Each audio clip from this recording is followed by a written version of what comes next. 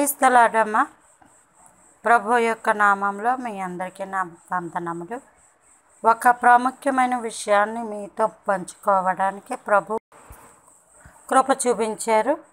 ఆది కాండము ఆరవ అధ్యాయం పద్నాలుగు వచనంలో ఒక ప్రాముఖ్యమైన మాట ఉంది. హిబ్రూ బైబిల్ చదవడానికి ప్రభు ఇచ్చిన కృపలో హిబ్రూలో నుంచి మర్మములు ఇవి. అది చాలా గొప్ప సంగతులు.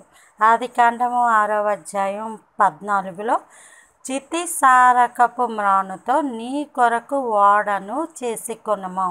అరలు పెట్టి ఆ ఓడను చేసి లోపటను వెలుపటను దానికి కీలు పూయవలెను అని వ్రాయబడి ఉంది.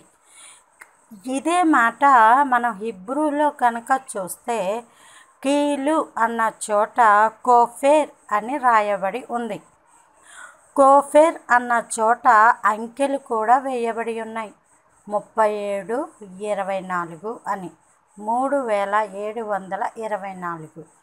కోఫేర్ అయితే కోఫేర్ అన్న మాటకి ఇంగ్లీష్లో అర్థం ఏంటంటే ద ప్రైస్ ఆఫ్ లైఫ్ అని కామా పెట్టి ర్యాన్సమ్ అని రాయబడి ఉంది.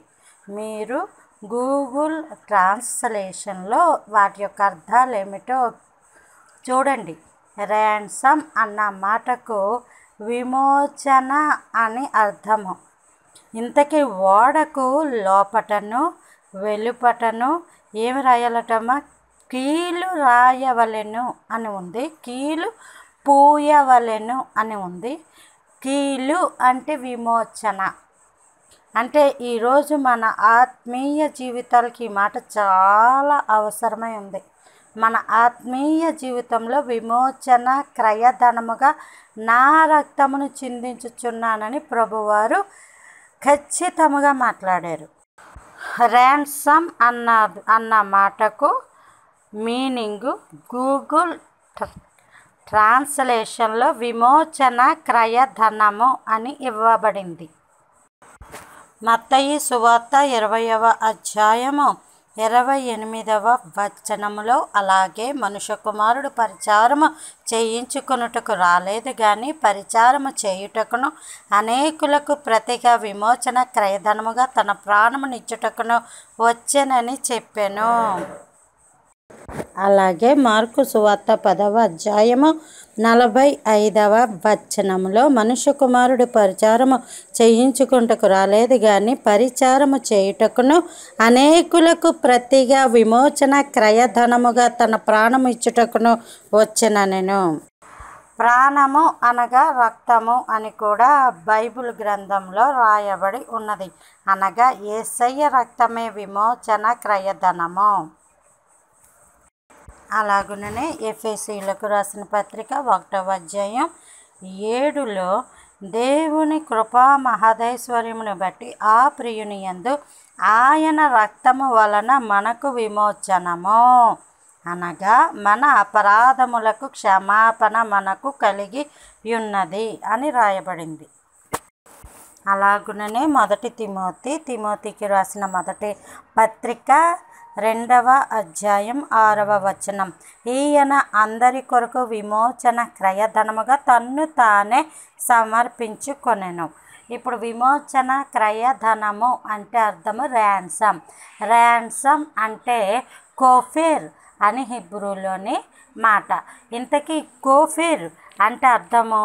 తెలుగు బైబిల్లో కీలు అని రాయబడింది కానీ హిబ్రూలో మాత్రము అది ఎక్కడ రాయాలంట? ఆది కాండము ఆరవ అధ్యాయము పద్నాలుగవ వచనంలో ఆ ఓడను చేసి లోపటను వెలుపటను దానికి కీలు పూయవలెను. అంటే ఈ ఓడ రక్షణ అనే ఓడని మనందరం ఆత్మీయ అర్థంలో తెలుసుకుంటాం. ఈ రక్షణకి లోపలను వెలుపలను అంటే పైకి పైకి జీవించే విధానంగాను లోపల హృదయంలోనికి ఏమా? మనకి ఏమి రాసుకోవాలంటే ఏసయ్య రక్తమును మనము రాసుకోవాలి. ఈ మర్మము అక్కడ నోవహు కాలంలోనే విమోచన క్రయధనము కీలు పూయ వలెను అని వ్రాయబడి ఉంది. మనం కూడా లోపటను వెలుపటను ఏసయ్య రక్తమును ధరించుకొనవలసిన వారమై ఉన్నాం.